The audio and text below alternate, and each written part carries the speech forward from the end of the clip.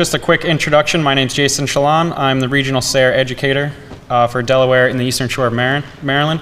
This is Berran Rogers. Uh, he's the SARE state coordinator for Maryland. Uh, and he's the, uh, what's your title? Director of Farms Program at uh, UMES? What is my title? Uh, the Whatever. Small Farm Program Coordinator, uh, but for the SARE, I'm the SARE State uh, PDP Coordinator, and the PDP is Professional Development Program. Right. And we're going to be talking mostly about uh, SARE farmer grants today, and you'll learn a little bit what, about what that is. Uh, first, sustainable agriculture. Um, it's kind of become one of those buzzwords where it's kind of lost a little bit of its meaning, um, but in the, the heart of it, um, there's, there's three main principles. Uh, one, it's got to be profitable. Uh, it's got to protect natural resources, and it's got to be good for the farmer lifestyle. So there's, this is the Farm Bill definition, but really it comes down to those three things. It's got to be good for the farmer, it's got to be profitable, and it's got to be good for the, the natural resources as well. Um, this, this is our outcome statement. Um,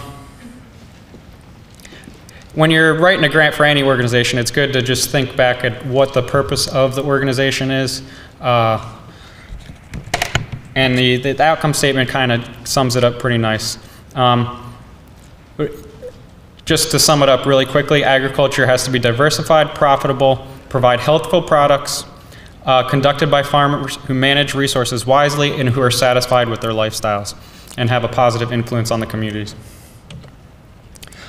Uh, so quickly, SARE is a national program that's broken into four regions. We're in the Northeast region. If you're in Virginia, then you're in the uh, Southern SARE region. There's two main sides of what SARE does. One are uh, the competitive grants, which we're going to talk about in a little while. Uh, the farmer grants and partnership grants are, are, mainly what, what you guys could be interested in, sometimes sustainable, sustainable community ones. Uh, some of the other ones are larger uh, ones for uh, extension, universities, things like that. The other side are publications, national publications, um, speaker funds. They do all kinds of bulletins, uh, online resources, videos. It's really a, uh, a huge array of information they have. Um,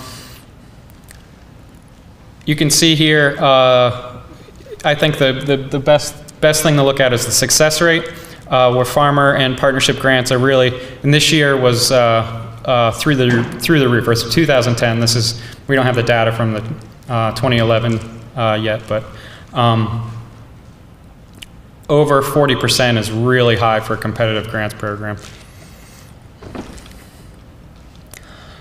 So the Northeast SARE Farmer Grant, we'll start getting into that. What is it? It's a grant to explore innovative ideas. So they don't just pay money to farmers to improve their farm or to uh, expand their farm. It's not like some of the other USDA programs. It's uh, research based to explore innovative ideas. Um, really, the idea is I, have spent a fair amount of uh, time on on farms um, as a student worker and doing different things, and really. And the farmers I talk to, you come up with ideas all day long about what might work, what might not work, and most of the time you just don't want to take on that risk uh, of time and money. Um, SARE just kind of fits that, that void where they can, they can uh, encourage you to try some new things, try some different things, and hopefully gain some knowledge and then spread that to the farmers around you. Um, the idea is not to recreate the wheel. That's kind of the old saying. Uh, you're, you're working from previous things and, and moving forward. You're not, you're building upon research that's already out there. Um, you're seeking new knowledge that other farmers can use and address questions that are directly linked to improved profits, better stewardship of resources, and stronger rural communities. And there's kind of the three, the three things that always come back up.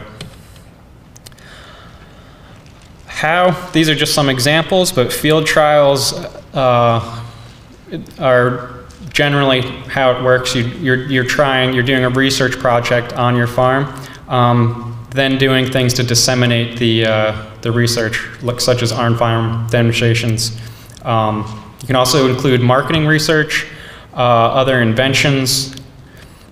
Project, the project must have an outreach component. Um, this is often one of the easiest things. You have to have a technical advisor, and we'll get into that a little bit later, but that is usually somebody from cooperative extension or university, uh, and they that's what they do is outreach. Uh, so if you have one of those technical advisors on, they can really uh, take the brunt of, of that outreach. So there's no reason to cut, cut yourself short uh, for that part of the application. Um, before we go too much farther, who can apply for a farmer grant? This is something that's just a rule that's set in stone. You have to file a Schedule F for the, with the IRS. Um, if you don't know what that is, you have to have $1,000 gross revenue, um, that taxable gross revenue. Uh, if you don't file a Schedule F, then they just can't pay you. It's just one of those lines they had to set. Um, you can be full or part-time. Doesn't have to, doesn't matter how big your farm is, it's just that Schedule F. If you do that, then you're eligible. Uh, has to be for-profit operations that are currently selling farm products, crop or animal on a regular basis. Uh, you need to have a technical advisor. I mentioned that before. Uh, find one early on in the process. If you can't find one, then let me know, let Berran know. Um, contact uh, the Northeast SARE region directly because there's people out there that'll be willing to help you until along the entire process of the application and through the research and through the outreach. SARE funds can be used for your time, your employees' time, in other words, your labor. Um, that's a little surprising to people sometimes. Usually, what we see most often probably is $20, $25 an hour. Um, really, they just want you to be reasonable. In the book, I think it says up to $40 an hour, but I've been on multiple rounds of review committees, and whenever we see $40 an hour, they better really be defending defending that because that's just a lot of money. Um, most of the time, when we go out to farms uh, or farmers that have got these grants, they say they, they cut their time short or they, they applied for too little time. Because um, when it comes down to it, it took way more than they were expecting. Uh, so if anything, you can bring your rate down a little bit and bring the hours up. Um, you just got to be reasonable. Uh, the other good thing about SARE, I might as well mention now, is that if something doesn't seem right, whether it's the budget or, or uh, anything in the process, then they'll contact you directly and they'll ask you just to change something, ask you questions about it, uh, and that's really something that's, that's exceptional for SARE. Uh, other grant organizations really don't, don't work like that. Uh, they can fund project materials, project-related services, uh, travel, if you can, as long as you can defend it, it's necessary for the project. Postage, printing, phone, outreach expenses, expenses. Again, they can be funding it, but you can be getting a lot of help from extension uh, people that do this for a living. Uh, so you don't necessarily need to feel like that's too much of a time burden. Um, they can compensate technical advisors, collaborators, et cetera, but keep in mind, people in extension really aren't supposed to get paid. Uh, you know, outside like that. Usually that's meant for if you have industry experts, um, if you're bringing in, you know, depending on depending on what your, your topic is. We've seen bee projects where they have, you know, basically a professional uh, beekeeper come in um, to, to help with different things, and that's, uh, that's where they can uh, be funded. Rental equipment specifically needed for your project, they can't pay for equipment purchases, um, and you obviously have to defend that it's necessary to get your project done. They do not fund anything more than $15,000.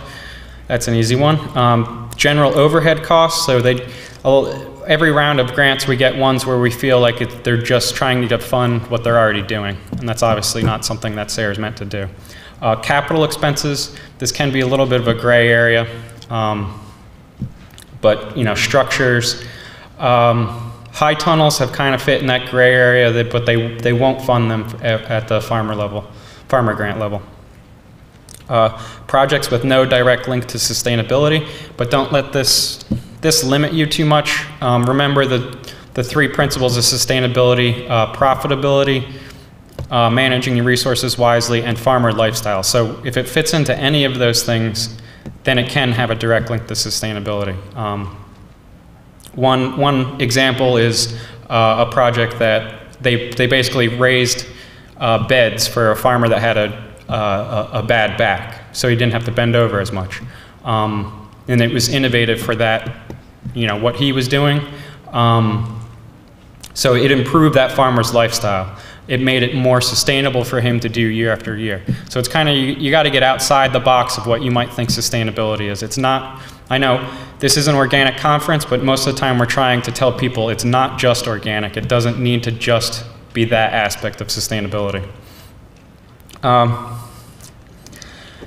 they can't fund projects with little or unclear benefit to other farmers, so it's important to sell what you want to do as it applies to other farmers around you. It can't only benefit your farm. If you have such a specific problem um, that SARE, SARE is not going to be able to fund just to help a single farmer. The idea is that it's going to help other farmers as well. So they can put a little bit of money into you, which will benefit you for supplies and labor, uh, but then in long term, it's going to help the farmers around you as well.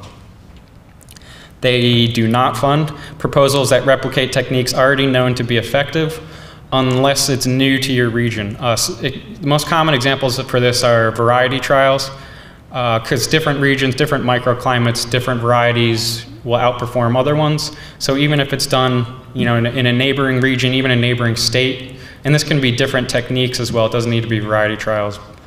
But if it's innovative to your area, then it's something that they can fund or potentially fund. And just one that's always on there, it's got to be said, is they can't fund past recipients who are behind in the reporting. Um, we'll get a little into that a little bit more later. Types of projects funded, and now this is just kind of a list to get people's minds going about all the diverse things that they can fund, they have funded, but really it's, it's not a definitive list uh, new production techniques, strategies, adoption in Northeast, etc., or in your region, marketing of new products, value added, invention of equipment, education, outreach, and demonstration. And I, am not going to go through all these, uh, but you can just kind of glance over this real quick, all the diverse things that they have funded. And I'm just going to go through these examples real quick. Uh, there's some that are going to be in the greater Northeast region and then some from Maryland and Delaware as well. Uh, Vermont, a breeding club, developing varieties, and this is a, again, this is a common thing that we see. And this is basically their outreach and on-farm demonstration. It's usually the easiest, easiest way to do it, uh, and even if you're doing other forms of outreach, you, a lot of times you might as well just include this. Extension uh, staff often want to get these on-farm uh, workshops going, so you can, it's kind of a win-win situation. Uh, this one is from Maryland, uh, in Berlin, Maryland, uh, the oyster big flip float.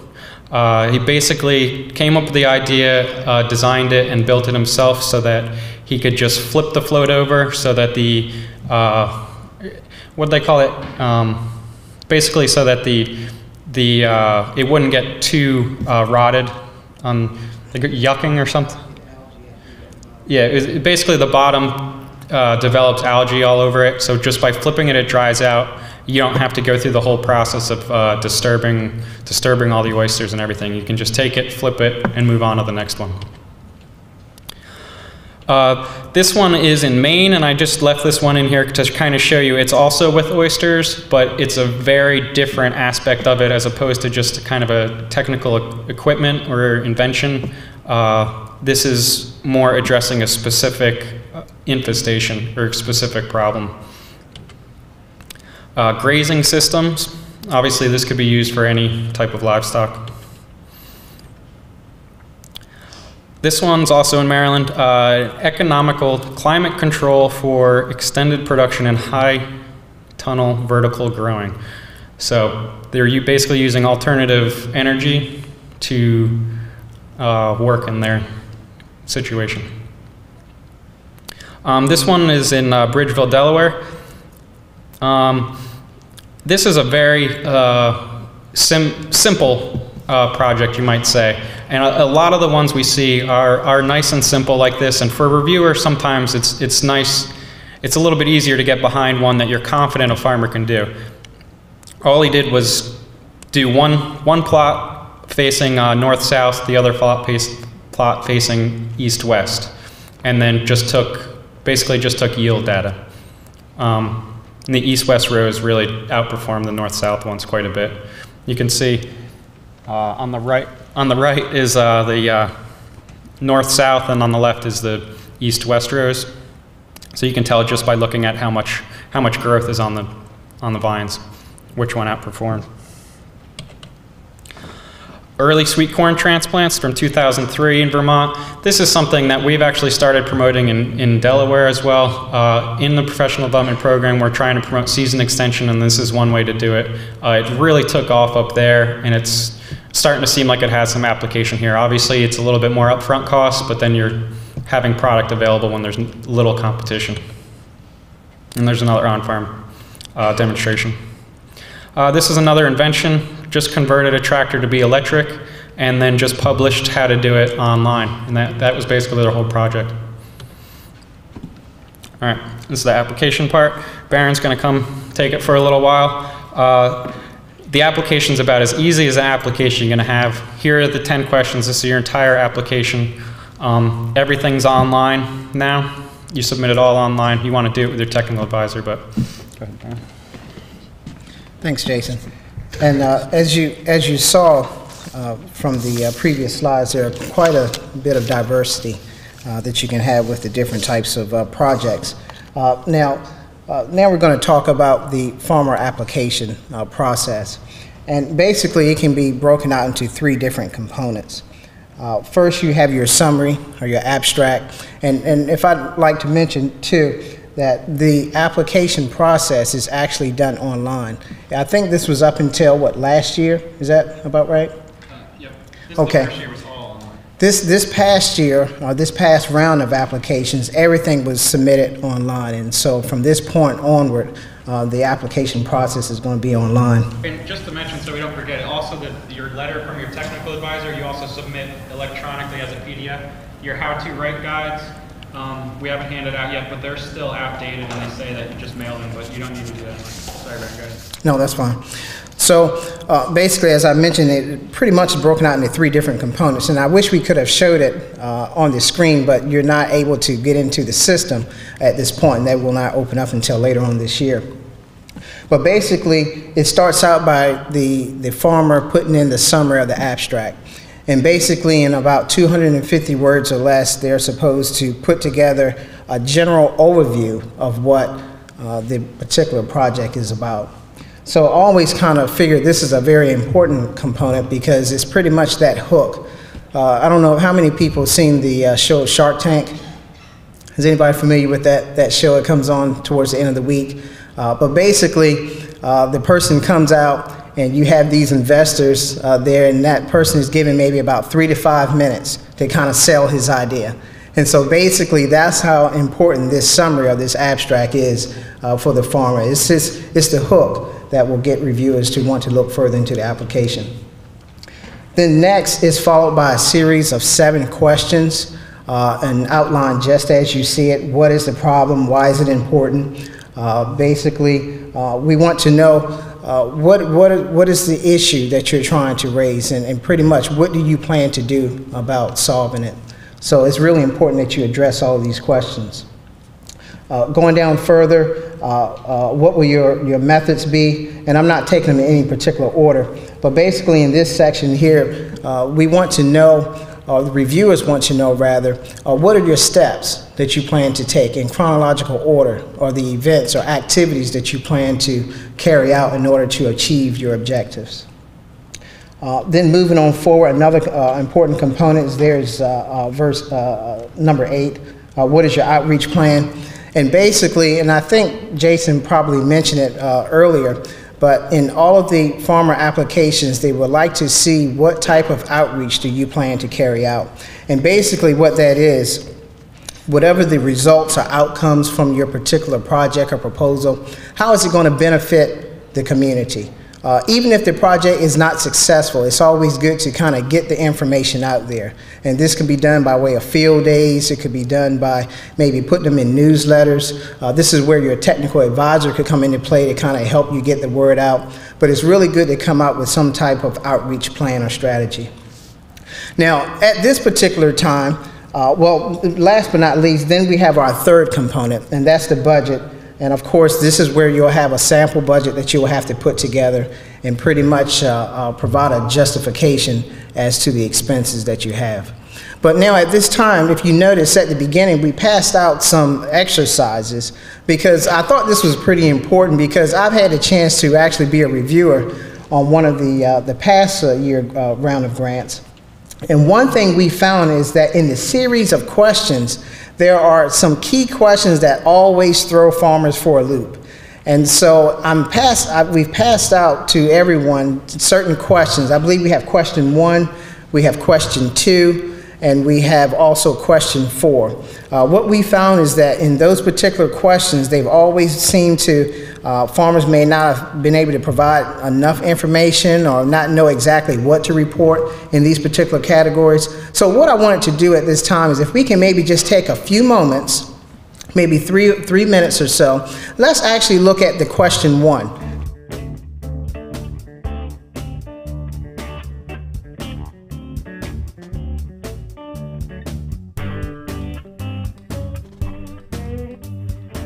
Uh, what we have here up front, and I don't think we had a chance to pass this out, but just these types of examples are actually in the a little booklet talking about how to write a, uh, a SARE application proposal. And one thing I like about this particular booklet because it gives examples just like this, and it kind of gives you pros as to what's what reviewers look for, what's considered a good response, and what would be considered kind of a mediocre or not, not the best type response. So uh, very, very helpful information.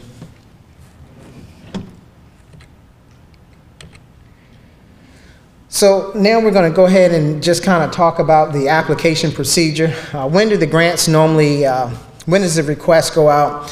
Uh, typically, if I'm not mistaken, I think it, it opens up uh, sometime, I think in late, is it late summer, maybe perhaps, or first of fall? They're going to open it up earlier. This past year, it was opened up late. It wasn't until like November or something.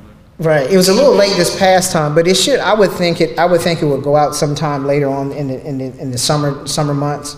Uh, the deadline is always December first. Uh, that's the submission deadline, and, and as I mentioned before, it is a online submission.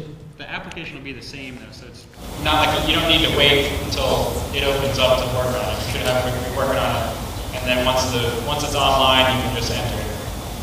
Right. Did everyone hear that? Uh, the, the 2012 application that we just passed out to you now, these questions are not going to change. And this is, and that was pretty much the application online. So you pretty much have the information already. So this is something you can already begin to get, you know, working on. And if, if you're thinking of an idea, uh, you can kind of uh, use these questions and, and pretty much when it's time to come out, you already have your information there to submit. Uh, the, the, uh, the review team uh, is normally compiled uh, normally in November, December. Uh, they will review the, the applications, and this is done between the months of December and March. they make a determination as to which applications will be awarded in, in March of the following year. they'll be notified if they were rejected or awarded. and then the contracts will, will begin to be issued beginning in April. So as we see, it's a pretty quick turnaround. It's a pretty quick turnaround. This is the, the website, and actually it's been updated a little bit, and we'll get actually get a chance to go into that a little bit.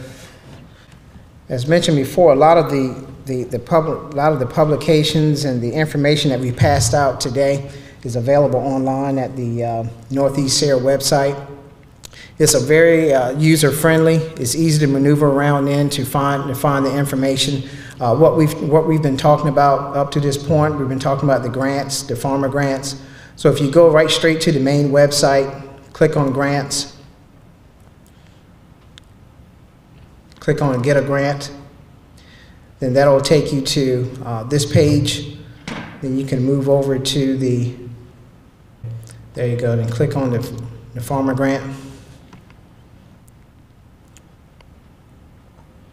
And the good thing I like about it is to the right, or to your right, you'll see it has here for applicants.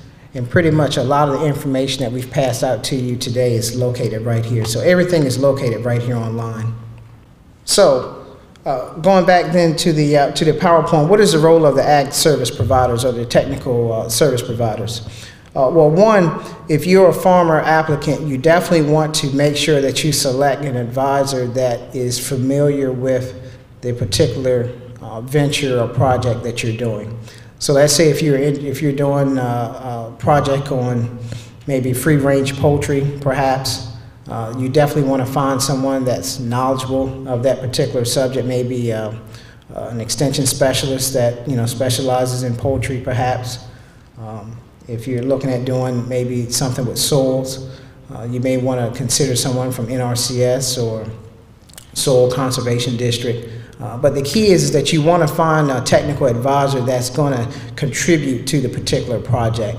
Now, keep in mind, this person wouldn't be the lead person taking over the project, but they will play an instrumental role in, in perhaps maybe reviewing over your application, making some suggestions if, if need be, uh, maybe helping the farmer to come up with a, maybe a test trial as to how to conduct his experiment, uh, maybe in collecting the data, how is he going to collect it. These are the things that the uh, technical advisor's role would, would definitely play.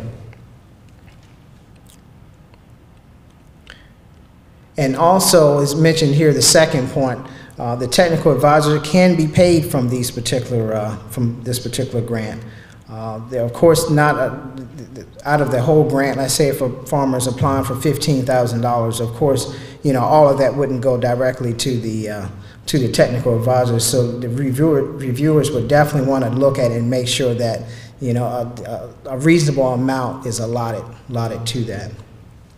Now, let's say if you have a particular project where uh, the, uh, the technical advisor would perhaps be the lead person to take advantage of, of uh, some type of experiment that he might be uh, doing at, uh, at his research farm, or perhaps, then he could be eligible to apply for a partnership grant. And that partnership grant is where the technical advisor would be the lead, but yet the farmer would be the one that he will be doing the test plot with. And so what we're going to do at this time is have Jason, I guess, come back up and he'll kind of take it from here and talk a little bit about the partnership grant.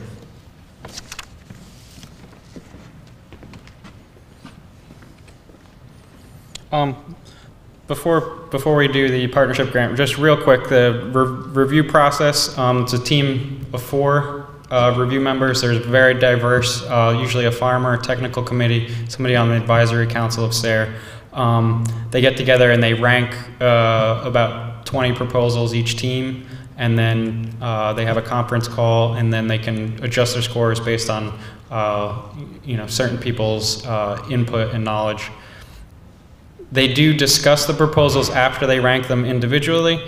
Um, and it the, you can change your scores. So sometimes somebody has some more knowledge about an area, and then uh, we can adjust that. But normally, the, the reviewer score is uh, independent for the most part. Um, proposals are based on merit, not on balancing of geography. But uh, I've said to a couple people, Delaware and Maryland are underrepresented to SARE. So if there's a tie, then it'll usually go towards us. Um, the criteria for review, this stuff is, is in the books that you have. Um, in some of those exercises we went over, just uh, put yourself in the reviewer's um, chair. Um, if you were a reviewer, how would you see these proposals? That's kind of what uh, the, the, purpose of those things, so you can sell your, sell your ideas a little bit better. Um, and all this is, is in your thing. We're kind of running low on time because we started a little late, so we'll just kind of go ahead of this. Uh, partnership grants are very similar. I'm going to go through this pretty quickly as well so then we can have some time for questions and feedback. Um, they're very similar uh, to the farmer grants in principle and application as well.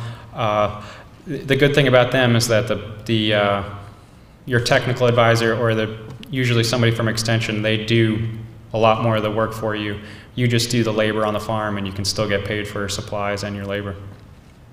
Deadline is a month earlier though, so keep that in mind. And you can see the nine steps and questions are very similar, so I'm not, not going to waste our time going through them. And the criteria and review are very similar as well. Uh, real quick, some common feedback for partnership grants and for farmer grants. If the problem is specific only to the farmer, these are things that we see time and time again. I've mentioned that before. Uh, farmer interest is not supported or other other farmers won't be interested in, in what you're doing. If you can't sell the idea that others will want to follow suit, then uh, it's not going to fly. Uh, you need to provide details and follow proposal directions. It's amazing how we can have an online application and the questions are right there, and somehow people still don't follow uh, the directions of what they're supposed to put in each one. It's just kind of a simple thing. You got to take your time and just do it right. Uh, your idea needs to be innovative and is in, and its impact shown, impact to other farmers, impact to to your life or to your profitability or to uh, the natural resources. Uh, questionable qualifications of the applicant.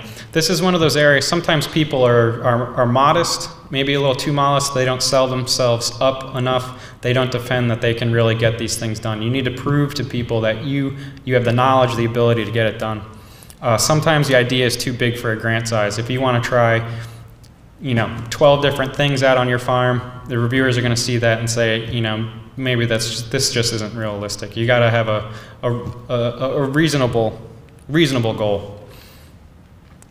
Uh, for more information, the, these contact information you can get uh, from us. They're also, the Carol Delaney's in the book. You can get um, my business card or Berran's as well. Uh, we, we want you to contact us. Carol Delaney is very responsive, so, so are we. Um, but it, it's a, for a grant organization, if you email or call her, she'll almost definitely get back to you in, in a business day or two.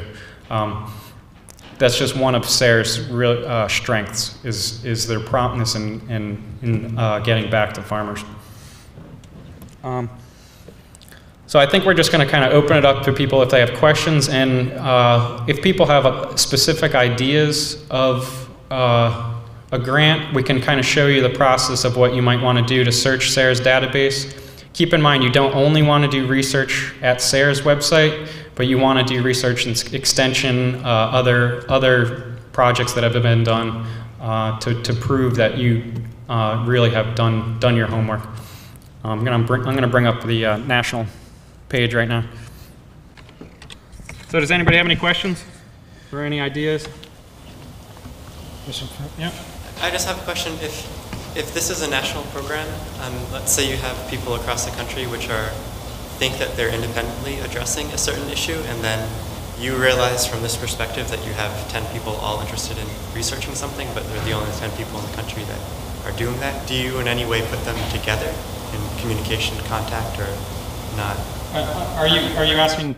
Should you contact the people that have done no, other? I'm asking if you have a project and you think that it's a great idea and no one else is doing it, but there are five other people who think it's a great idea, but nobody is communicating because no one else knows that they exist, but it, from your perspective, you can see that they do exist. Is there any means of connecting those people? Um, I, I don't I don't know if there's any any way to really uh, to connect people that haven't uh, addressed it. There are um, like if you search these project reports.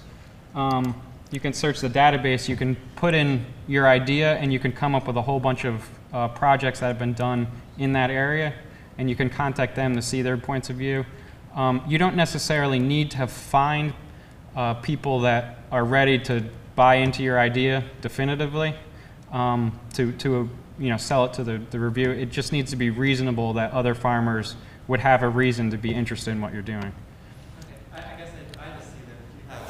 Five people, four people lose out and they get nothing. But what they could get is the opportunity to work with other three other people, um, at least in discussion and communication. Because if you're intrinsic, intrinsically interested in it, then even if you don't get the grant, you're still interested in it. Well, that's where, um, and just kind of add on what Jason said, that's the purpose of all, all of the awardees are, are, are put into this database that that everybody can go to. So whatever you know, if you're interested in doing growing shiitake mushrooms, let's just say if you have, you know, ten people that try to do a shiitake mushroom project and five of them got awarded. Uh, they will be put into that database and all of their information will be put there as far as you know the reports you know how they went about the project you know what different aspect that they you know uh, take on it and so that information is available and they also put out success stories, of course, you know, uh, from select regions. So even though there's not necessarily, and I guess I see the question that you're asking, even though there's not necessarily a forum that's put together for, for ones to kind of connect, I guess that's kind of done on their own, I would think, because that information is available, and that is one source they can go to to find others who are doing it and who perhaps may be doing it well. Yeah, it's, as I mentioned, you know, it's very user-friendly. Um, uh, and I think Jason mentioned at the beginning, uh, SARE has four different regions. You have the western region, you have the north central, you have the northeast, which we're a part of, and then you have the southern region. Each region kind of acts independently from the other. However, we still have the national, we're still under the national umbrella of, you know, of course, SARE. And so this particular website that he's going to is the actual national website, and that's where you can go to and put in your information of whatever topic, title that you might be interested in. And when that, when you put it in this database, then that pulls information from across all four regions. So you're not just getting information just for this particular region, but across the board.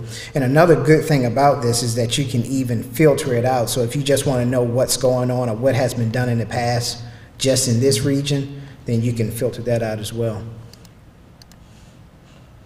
And I- like to say that even if you're not planning on applying for a grant, that there's just a lot of information there and production-related information and results. And um, so it- it's a great place to go just to to glean information from. Their publications are great. Yes. So I'm just trying to show you a couple examples, but this is really be your first step. If you have an idea, or even if you just want to know about something that's been done, go to the website, search the, the SARE, SARE.org, the national one. You go to project reports and search the database, and this comes up, and you can change the regions. You can change, you can pick an individual state. You can really do anything. There's just thousands of reports that have been done. And as I mentioned to you before, you know, there could be some of these projects where, you know, they may have really good intent, but the outcomes were not good. But yet that's still, you know, good information for the farmer to perhaps, you know, use.